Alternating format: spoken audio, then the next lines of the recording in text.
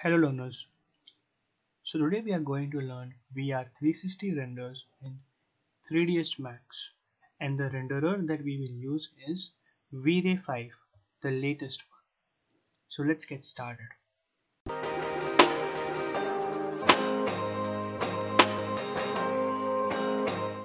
The scene ready for foyer and we'll do the 360 render of this thing like this okay We'll go in top frame and the shortcut for top frame is T. We'll activate the wireframe and then I will go in cameras. In camera slot, I'll select the V-Ray option and V-Ray physical camera.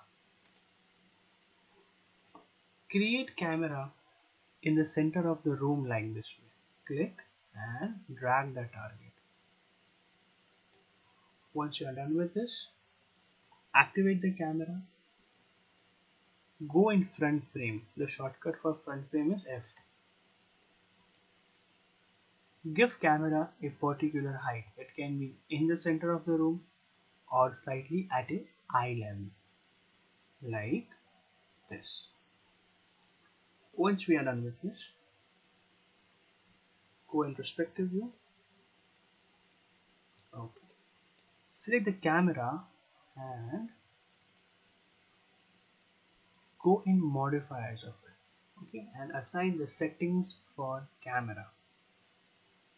These are not VR 360 renders these are basic settings to balance the lighting. So in sensor and lenses we have focal length. Make it 35 these things add good depth in the scene. Then in aperture slot, we have shutter speed. Make it 50.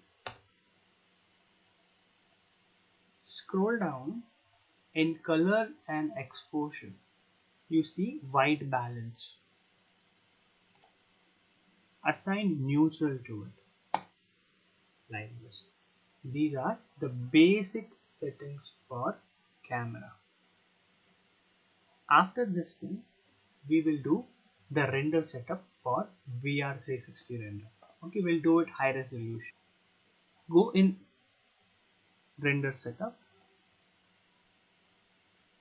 and here assign 5 hotfix 1. So yeah, by default the output size will keep it 2000 by 1500 okay? This is a 2k high resolution render.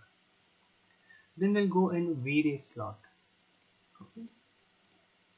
First three slots will keep it as default.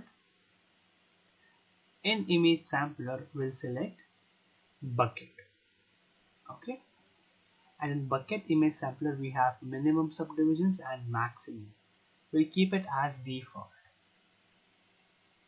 Then we see noise threshold. So yeah we'll change this to 0.005 like this. We'll wait for it to load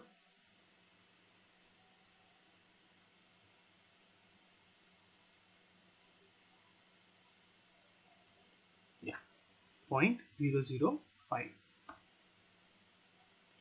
okay then no need of image filter. It's all good. Okay. no image filter.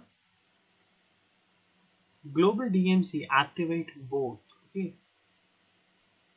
Lock noise pattern blue noise sampling. Both should be activated. Environment do nothing.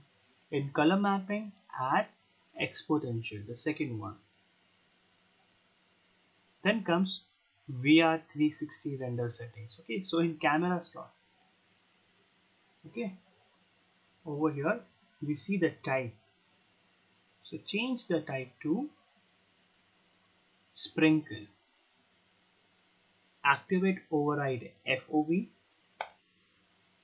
and then assign 360 over here. So now the camera will render the 360 angle of okay? Then we'll go in GI global illumination. So here we have two render engines primary and secondary. So yeah, we'll assign primary engine as irradiance map and secondary engine, as light cache. Irradiance map. Make it expert. Advanced. And expert. Make it expert we'll keep the current preset high only. In light cache will increase the subdivisions to 1500 like this. Once we are done with this setup we will add render elements. Okay in render elements we'll add V-Ray denoiser V-Ray lighting and V-Ray shadow. Once these things are done go in camera. Shortcut for that is C. Not this one. This one. So yeah. This is the camera that we placed in the center of the room. Okay and then shift Q to render it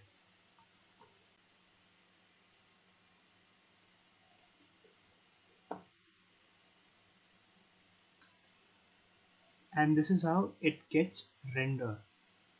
This is VR 360 render. Okay, we'll wait for it to render and then we'll open in a particular software.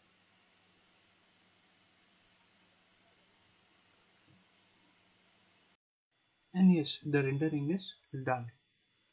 This is how it looks like. VR 360 render in spherical shape. We will save this in JPG format at a particular location.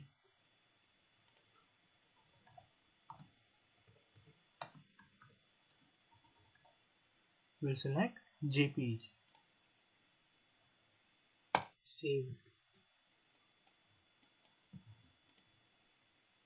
We have a particular software to open this 360 render. Okay, that is GoPro VR Player select the file and search for the render and open it in this. And this is how we can see the render of whole room like this way. Ceiling chandelier. Each and every detail we can view in this this is VR 360 render. I hope you like this video guys. Do like share and subscribe to our channel. We are coming up with more creative things. Good day